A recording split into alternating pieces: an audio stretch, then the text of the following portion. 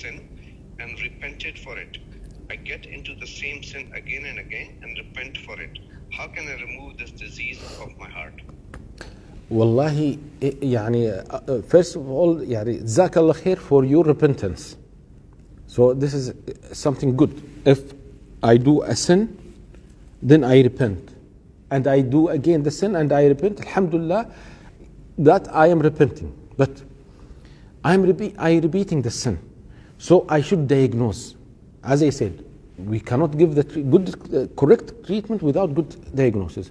So what kind of this, what kind of sin and why I'm doing this sin? For example, if you tell me, Wallahi, my sin is smoking cigarette.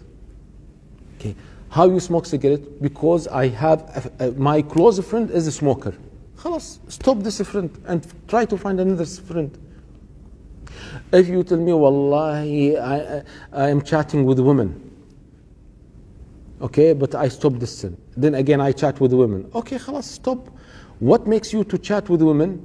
Facebook. Remove the Facebook from your uh, mobile remove the Instagram from your mobile. you will not die if you remove the uh, Instagram. Okay? So, I mean, to find the reason. Like the hadith, the Prophet ﷺ mentioned the hadith, the story, the man who killed 100 people.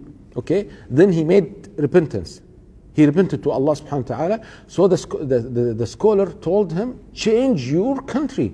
So sometimes, brothers and sisters, we need to take a strong decision. We need to, to, to make a big change in our life to, to, to help ourselves. Okay? So, yeah, and how to remove this? You should know what is the problem. What is the problem? Uh, is the problem, you know, sometimes uh, uh, uh, the, the lesson is watching movies. Okay, what makes you to watch movie? This is wallahi now it is common, brothers sisters. This is a big problem. Watching the movies. Even the brothers or the sisters or some of them who are practicing Islam, they are praying in the masjid, okay, they watch movies. Okay? What is the problem? The problem because it is easy now. Khalas. Bris, bris, bris, yalla. And it is free. It is free. So if the Facebook creating problems for you, stop the Facebook, remove it. If you cannot control yourself. طيب millions of people live without Facebook. Millions of people live without uh, Instagram. Okay, and li- their life is okay. Alhamdulillah.